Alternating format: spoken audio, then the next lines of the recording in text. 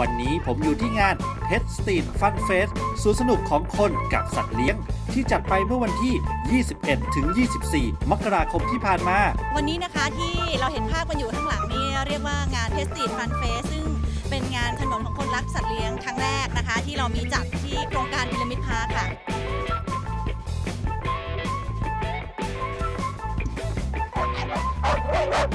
เนี่ยที่เขาจะฝากมา